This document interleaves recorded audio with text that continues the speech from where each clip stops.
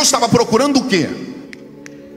Um rei Aonde Deus achou Davi, pastor Anderson? no pasto. Então quer dizer que tem gente boa em lugares desfavoráveis? Sim.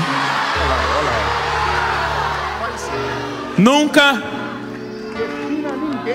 defina ninguém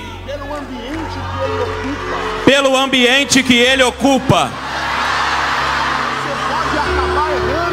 Você pode acabar errando Desprezar um rei sem saber. e desprezar um rei sem saber. Cuidado! Muita gente boa. Tem muita gente boa que ninguém